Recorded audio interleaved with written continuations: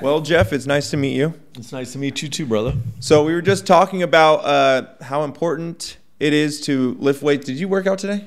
I did. Did you?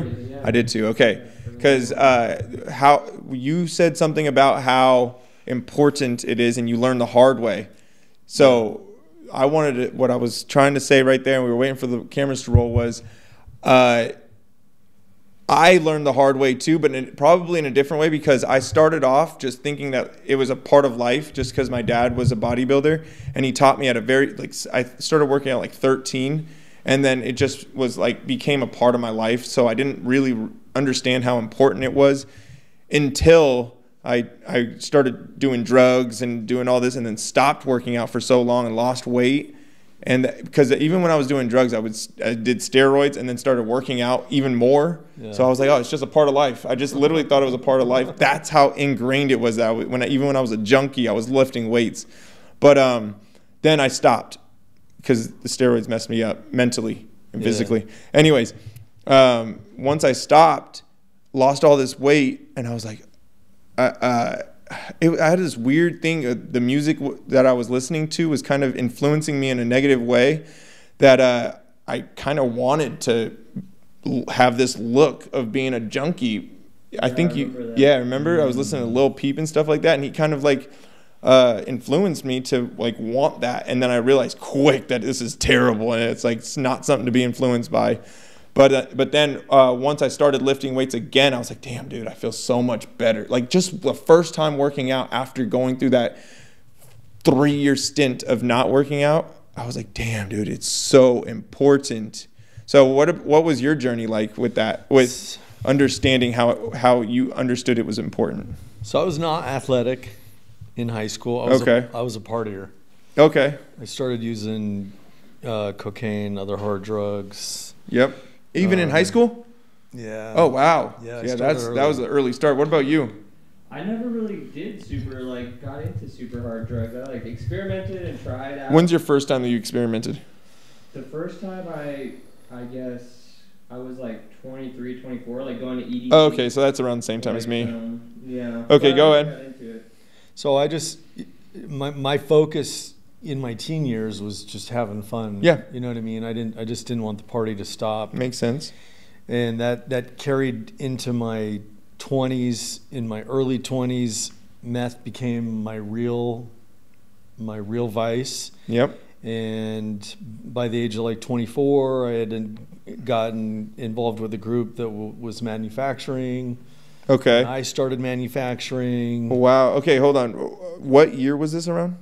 Uh, if you don't mind me asking. No, it's like 90, 99, 98, 99, okay, 2000. Okay, and you were in your 20s, so.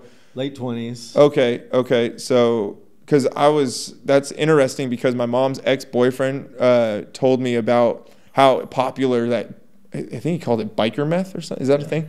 That's what he called. He uh, I think biker he met Chris one time, but he told me about uh, how because he used to do the same thing. He used to literally bury. He had so much of it, didn't know what to do with it, that he'd have to bury it and and, and in his backyard, like in holes, because he just didn't know what to do. I didn't realize how big that was here in Vegas.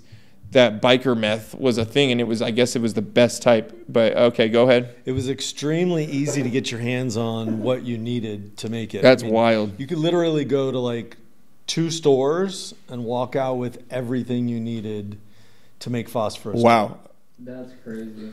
That's a whole. You literally just what I mean, the back fuck? then. That's so crazy. this was before Metro and the police had like caught on to like oh. how it was flooding the streets. Mm. People started getting busted. People started snitching. You know what I mean? And they mm. they actually. I, I remember a time hearing stories of where, you know, dope cooks that they caught were teaching them oh, wow. how the process was was done, where the where the chemicals were coming from. Oh shit! Yeah, but you could literally walk into like Jones Feed, walk out with a flask, a hose, iodine crystals, red phosphorus, mm. and Damn. then you could go to a smoke shop and get like they used to sell huge bottles of like a thousand count pure ephedrine pills. Is it, and the, the smoke shop knew that, that that's what it was for, that people were using that for? Well, it, it it's like Sudafed, so it's it's it's it's labeled for the use of like um, Colds and stuff. cold flu or Oh, I see. allergy allergy pills. Oh wow, and smoke shops. That's wild. Okay, just kind of, well, it's I kind mean, of you like go into the- a smoke shop nowadays, and you're going to find all kinds of synthetic. Oh, for sure. That's what literally what I was just gonna say. Like even with the Galaxy gas or whatever that's called, the the whippets that they're do, that they're just sell, and people are ruining their lives over it. Over Yeah, over like that. Uh, flavored whippets, bro. it's crazy. It's crazy. I've never even done a whippet in my life, but my ex girlfriend literally was just on No Jumper that she got addicted to whippets, It's crazy. and she almost lost her legs from it. That's wild. Yeah. That's well, crazy. Jen has a crazy comeback story, and then maybe you could like get into that. How you Yeah, let's- So just real quick, I'll just kind of go through the journey Let's and see it. fast forward. I got into big trouble with the law. became a became a felon in 2001. I got convicted of manufacturing, trafficking, compounding, and illegal substances. Okay. and I had like a six year struggle with like the law and wrestling internally with like you know in, in, in the recovery journey they Yep. you know they teach you that you're powerless over these things and I was just raised to believe that like I could I could do anything I set my mind to doing Right. Right. Right. you know that I could overcome any obstacle Yeah. and like I was trying to apply that logic to Mm-hmm. like my drug use and in the drug scene you know what I mean And it'll work. And it huh? I said it'll work for sure. Well, it works sometimes, Yeah. you know what I mean? But eventually, like, I had to, it was like the first time in my life where in 2006, my final arrest is what led me into the drug court program. And I What's was, what's a drug court program? so the drug court program is where if you're convicted of a serious drug offense, they will give you an opportunity to enter into a treatment program mm-hmm. that's monitored by the courts. Oh, I see. I see. It's kind of like a going- rehab. Yeah, instead of going to prison for six years, they said, okay, you do this year long treatment program, Oh, okay. and and then we'll put we'll put you on probation. and Yeah. if you're in compliance, then you you don't have to go to prison. So I Okay. opted into oh, that. no way. Yeah, so in 2006, Yep. uh, March 28th, uh, I was so physically and, and emotionally and psychologically dependent on substances that it, I literally couldn't stop.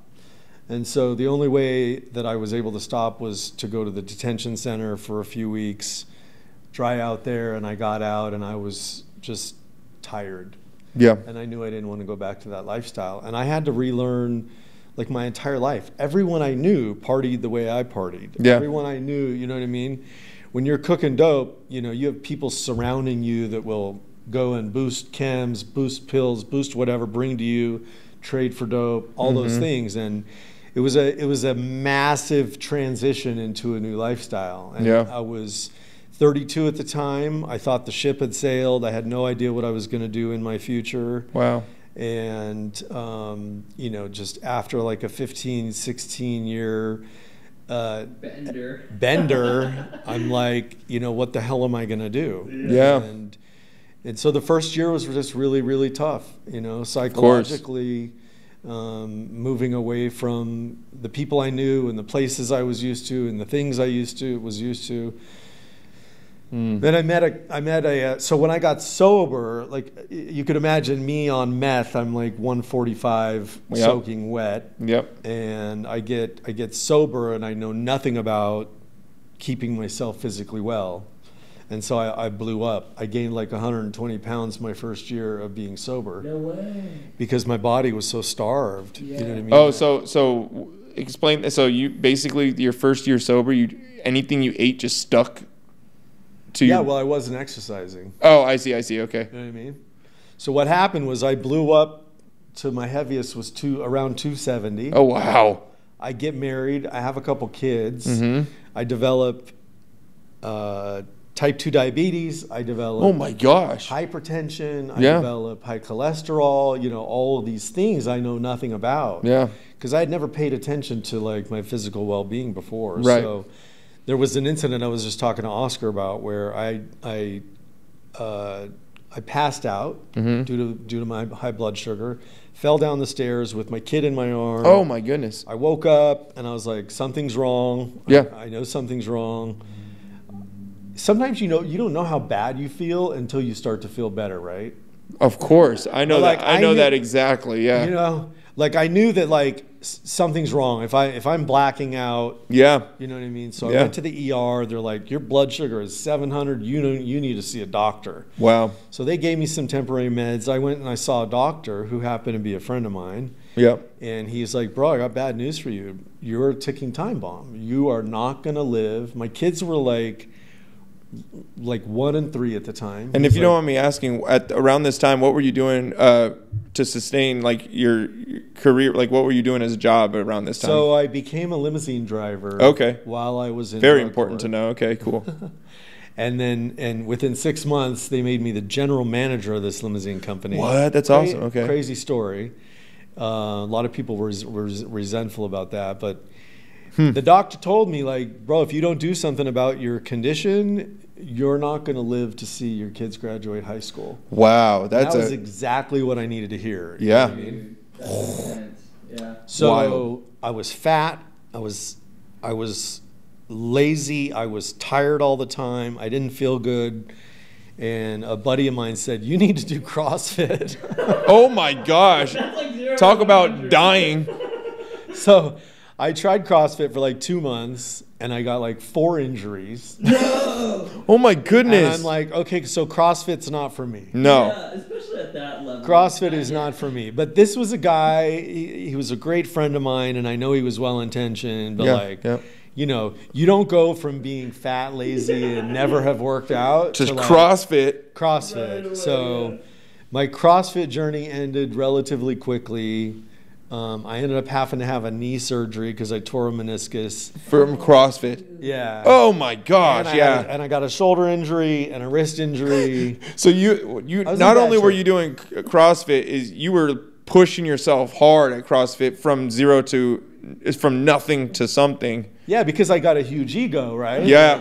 And you have an Yeah. addictive personality, so Yeah, I- I so got, you probably saw CrossFit and you're like, I'm gonna put my all into it. I'm like, I got this, bro. Like, Oh, and you pr- you applied that logic that you were talking about earlier to Yeah. it, probably. Yeah. Oh my this. goodness. I can compete with these. And the guys. universe just said, "Yep." You know what I mean?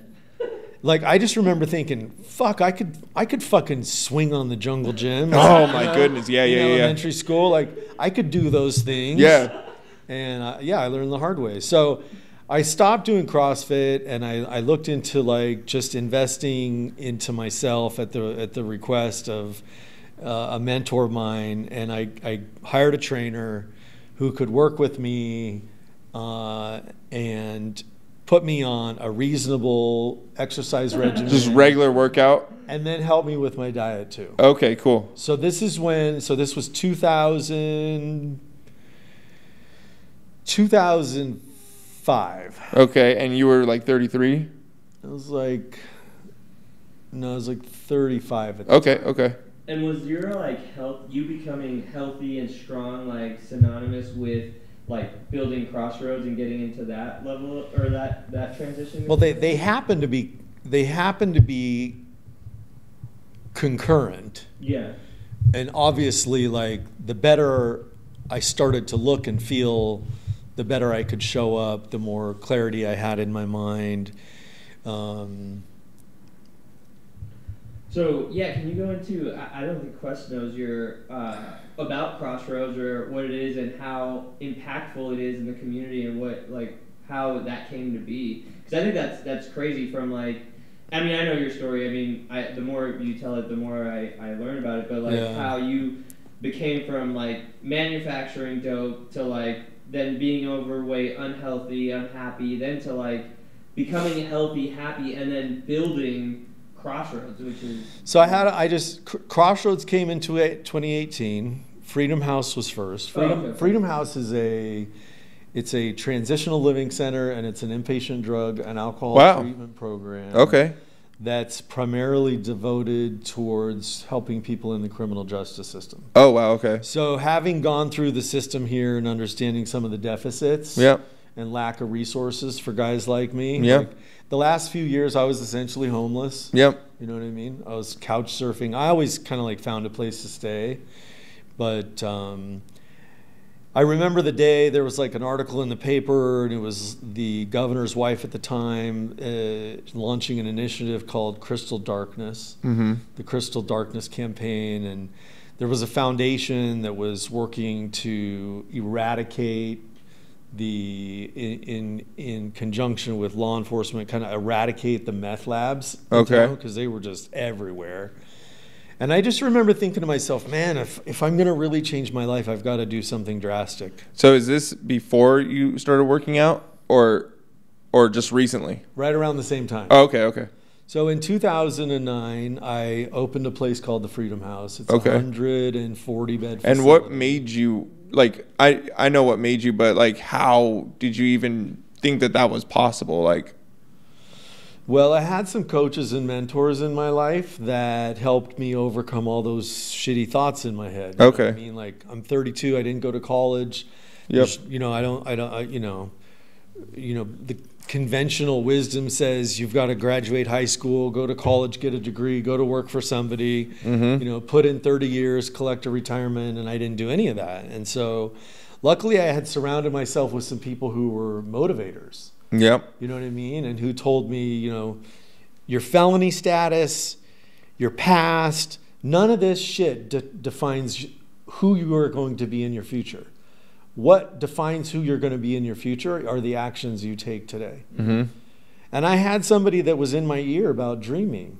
And like I had been using drugs and numbing myself for so long that dreaming wasn't even a thing for me. Mm. Like dreaming in my sleep maybe, but like dreaming about the kind of life I wanted was not even a thing for me. interesting. Okay, So I started to think like like and dream and I I like I had this idea one day um, there was only one place where people in the detention center who were waiting on a treatment bed could go.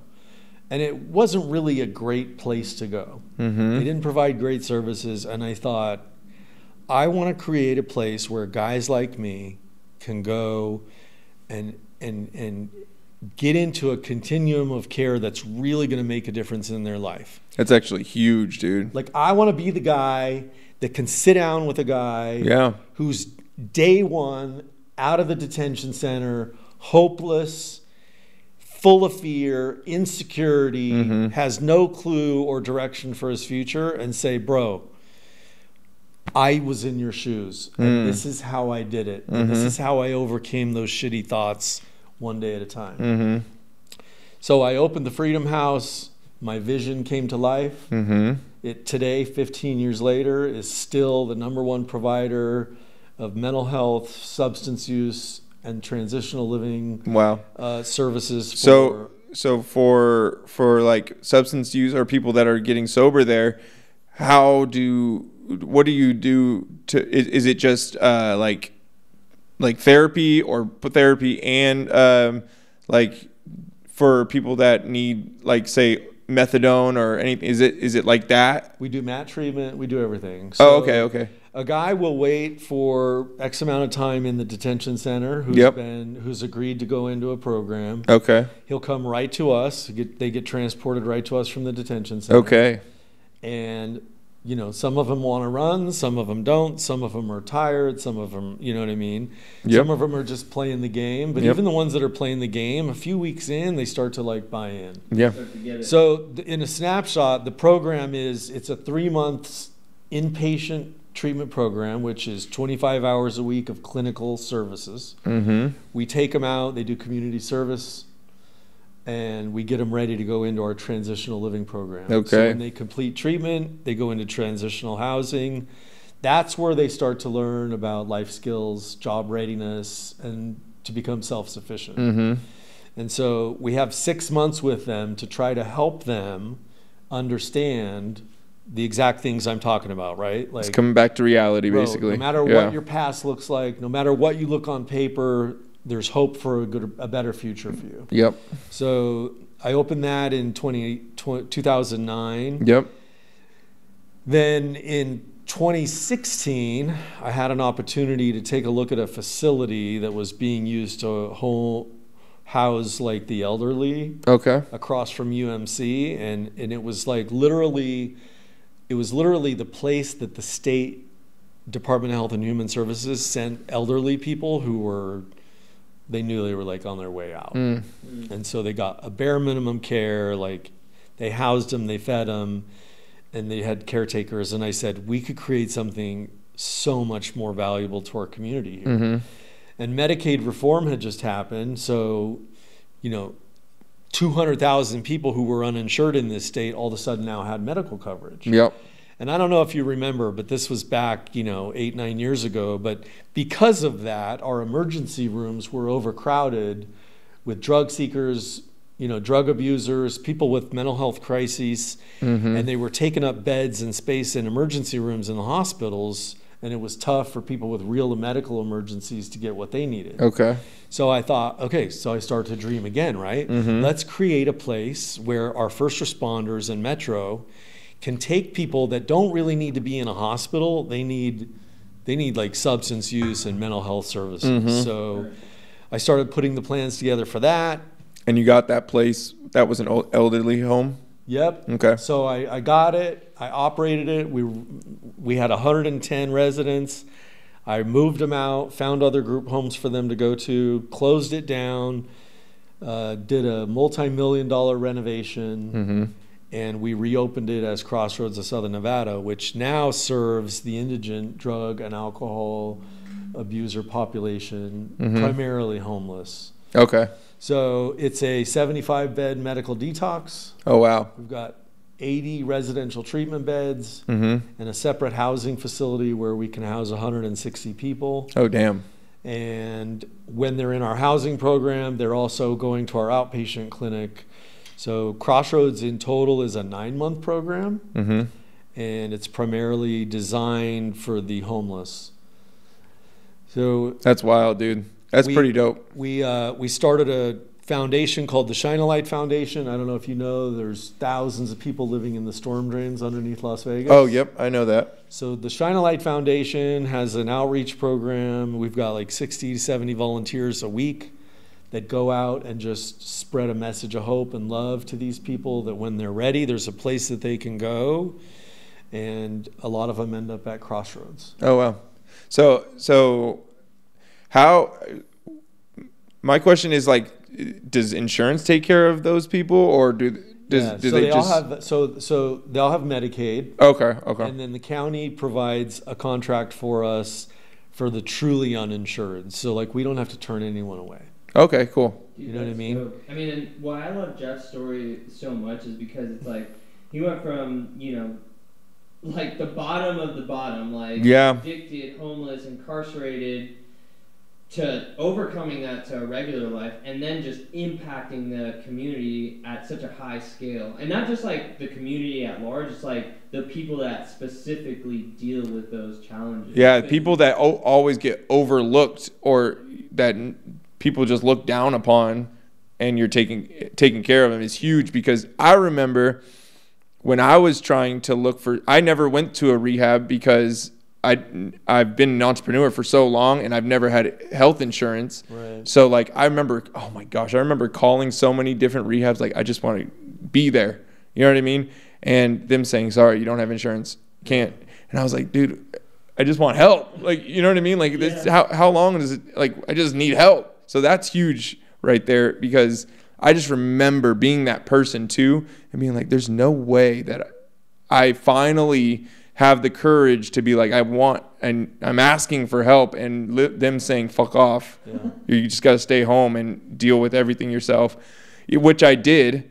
But uh, right, what you're telling me is like huge because I'm like, damn, he's just taking care of everybody, which is which is awesome. Well, that was my mission. You know, the 12th step in the recovery program I got sober using Yeah. is is giving back the miracle we've been given. yeah, And so I I really took that pretty to I guess an extreme. yeah, You know what I mean? And Yeah. I'm born and raised here. yeah. Me too. And you too, I, right? I just, I just, I knew that there was such a lack of services, and I'm like, this is fucking crazy yeah, that a guy like me, who was on the streets of, I'm a felon, I'm all these things, and I'm the one that puts together a vision and a dream hmm to help the underdog. yeah, You know what I mean? And That I is found, huge. I found a lot of joy in that.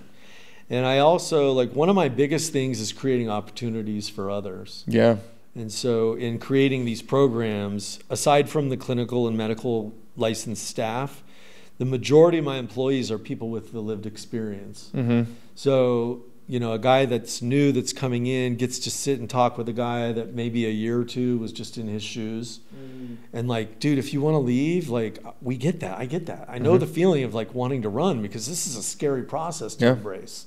Right. But just stay one more day. Yeah. Just Take it a stay day at a time. Yeah. Just stay tonight, and tomorrow you might feel different. Yeah. You know what I mean?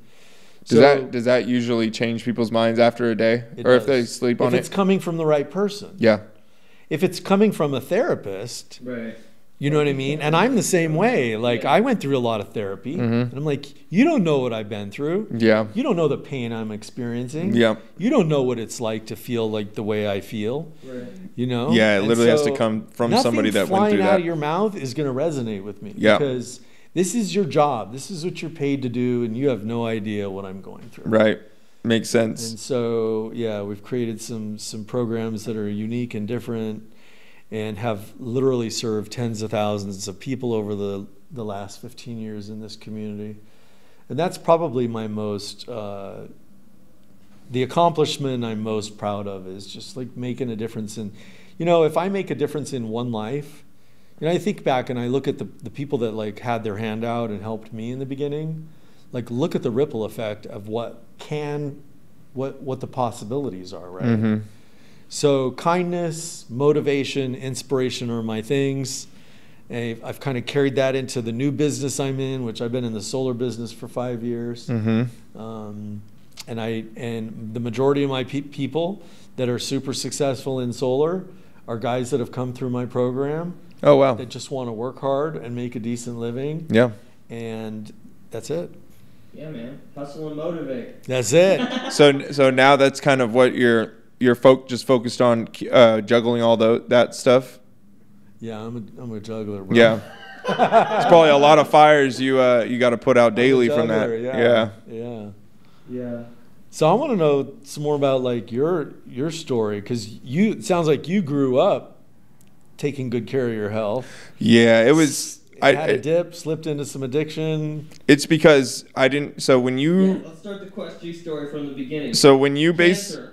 Yeah. Well, cancer at twelve, literally. Wow. literally uh, kind of my mind was just already like exposed i guess the word is to just uh, reality like what can really happen to you at a young age and uh, and then i did chemotherapy for so long and getting bullied for having a PICC line in my arm that kind of like like kids tugging on it and it's literally connected to my heart and like getting acne all over my body. Literally every riddled and acne from the chemo because you're going i'm going through uh, puberty while going through chemotherapy and just losing oh it was just terrible. Yeah. but uh, after i got done with that and they, they told me i survived which it was like a high percentage of living but still going through that and then surviving it i pretty much just looked at myself in the mirror and being like i think i'm superhuman I, I was like, I am. I don't care what nobody says anymore.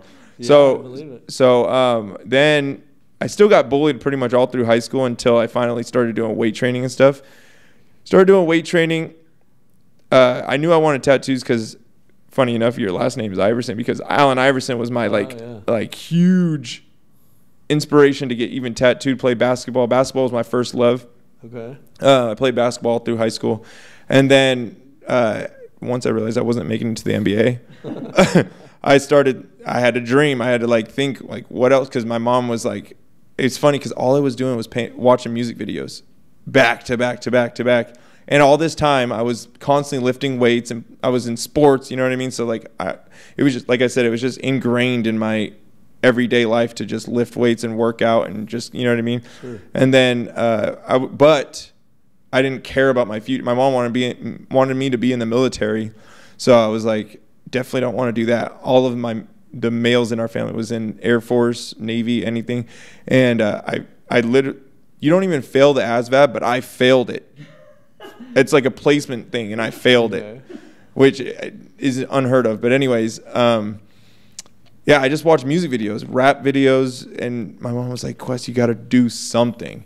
And then I remember getting my second tattoo, and she kicked me out of the house. And I went Oh, to my dad's house, slept on his couch for a little bit, got my first job at the airport uh, at a gym, lifting, just uh, checking people into the gym. And it was on the zero floor underneath the airport. So mainly like employees would go there. But I remember just because it, it was it was called Fitness Beast. So like there'd be times that I'd just be sleeping there uh, because I was the only employee that would like had nothing to do, and and I lifted it every day. So I was like, this is perfect. And uh, so that was my very first job. And then how'd you get the idea to be be Quest G? So like you got fumbled through jobs. So yeah, basically through that through that like Fitness Beast got an airport job, and I was just like, what the fuck am I doing? Dated my got my first girlfriend, bleep, and and uh, she was cheating on me. She was young. I was like 19, young, uh, just like getting cheated on. And this is my very first like serious relationship. And I'm just like, what the fuck am I doing? Like partying every day. This is actually the first time that I like kind of stopped working out for maybe like five, six months. And I got really skinny, skinny. But then I got a, I became a lifeguard. And I remember the lifeguard job was finally something that showed some light from that dark relationship um, of partying and everything. And it was a light because when I was on that stand, I could be looking at the phone and just being like, wow, uh, it's something like a, like, and it, like just downloading Instagram and then in, under, trying to understand it. And I remember uh, once I got the, once I finally got the idea that I could be something bigger from just social media or Instagram, Sure. I literally just went all in- like I just remember it was like literally like a moment that I was like tunnel vision, like nothing else, and I saw I became that person that I wanted to be right then and there in that moment. It was like surreal, and uh, I did my first thing of steroids. Uh, instantly started getting tattoos. Like a lot, I was already tattooed, but I got started getting way more tattoos. Photo, I hit up random people do photo shoots, and I just started posting, posting, posting. Followed like trying to gain a following, so I would follow like just I would follow like seven thousand five hundred people, just Yeah. trying to get them back, and whoever didn't follow back, yeah, whoever didn't follow back, I'd unfollow them, trying to get them just, and that's how I gained like fifteen thousand followers, just following everybody, unfollowing everybody, following everybody. That was the OG Instagram hack. That was the only way to do it. Yeah, you can't. You literally can't. And then, so that's how I gained my first little following. And I, my ego. This is this is the only negative part about it was that my ego got so inflated that I thought I was something th- that it kind of like put me into a weird negative way of like just thinking that I was bigger than other people around me. But overall, it did help me because it got me separated from my high school Yeah.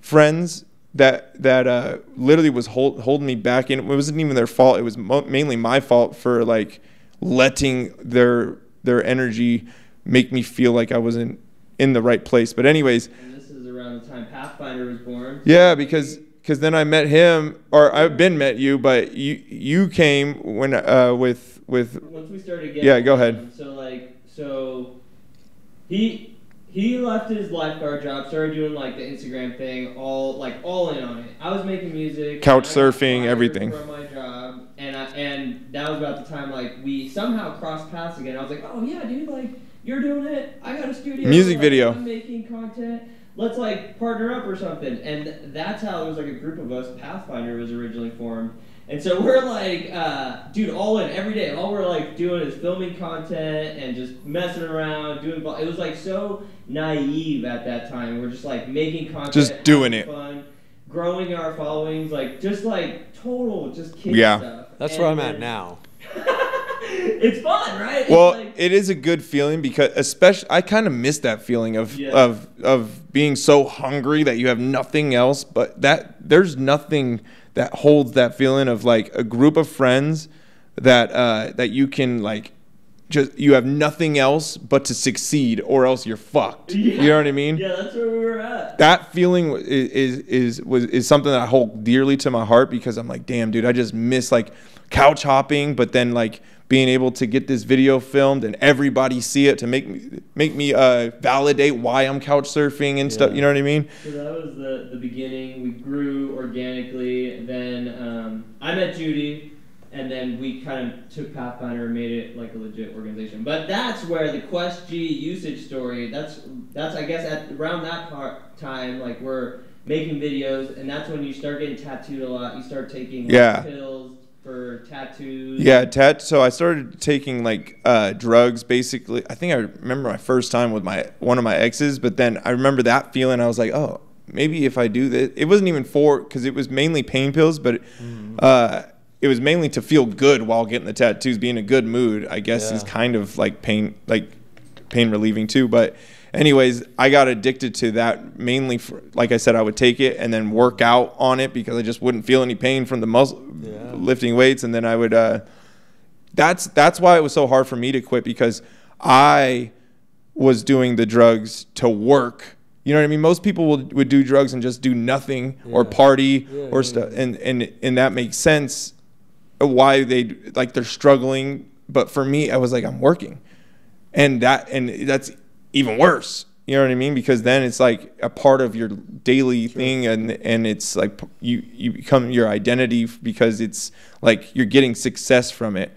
Until uh, I went to Huntington Beach and I had an internship, and and then uh, I started dating these porn stars. I was basically the drugs. I could tell that the drugs was making me make bad decisions, like getting into like dating porn porn stars or like uh, it would make me want to drink more or just anything like that. Yeah. And I didn't. I was had z- so much zero self awareness that I just wouldn't even listen to like the the intuition that would tell me not to do that. like literally, and then and then finally, fast forward to 10 girlfriends later i'm in houston texas it's kind of felt like that it was just a blip like literally like I had And that was like literally from like 2018 to like 2022. 2021 yeah 2022 yeah And you're going hard, like hard i was raw dog that's, that's the way i explain it. i was raw dog in life and just Mm. but it was it was kind of like way looking back now it felt like I, I just had such a tonal vision to be this person yeah. to being this person like identity that I had. And I think what I manifested was from that moment that I told you of I was like, I'm gonna be this social media person. And I I think that the universe like took who I was at that moment, took it out of my body and said, be in this tunnel. And then I ended up in Houston, Texas and woke up. And I was like, what the fuck just happened? And I was doing it. I was on like these fake Adderalls that was basically like meth. Yeah. Um, I, I was on uh, fentanyl. I was just drink. were you taking? I was taking like 100 to 150 a week, like 50 a day sometimes. And and then I just but the fake Adderall I was u- I was on real Adderalls but in Houston they, I couldn't find any Yeah. so these fake Adderalls I think that's what woke me up because I was like what the fuck is this I was I stayed up for 13 days straight one time 13 yeah, this is the Oh, I can awakening. relate. this was when the awakening happened. I started can relate to hallucinating, started thinking I was like seeing God right in front of me, and then I would just see random stuff. And then basically, this my it was basically my intuition or or just my my subconscious trying to tell me get the fuck away from this girl that I was with in Houston that I just found myself with because I was always using females uh, and and built up a lot of bad karma from it.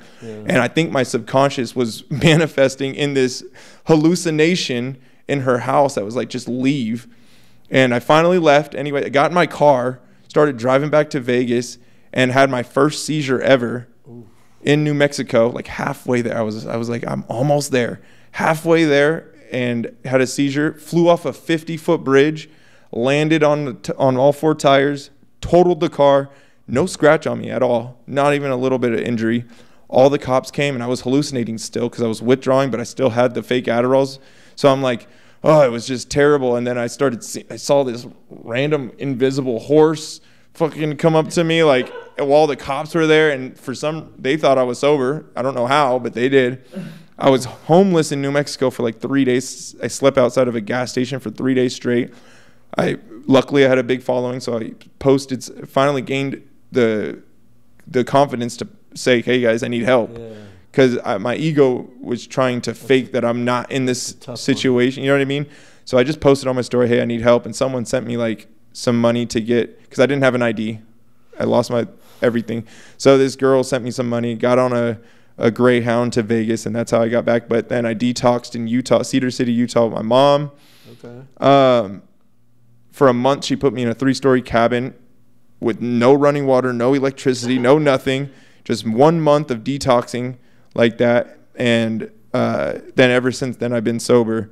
Um, and then still from there, that's when the struggle really started because now I have all these feelings and different like I'm becoming alive again from Yeah. death. Yeah. And uh, then f- from there, my mom didn't know what to do with me because she was getting into a new relationship in Colorado.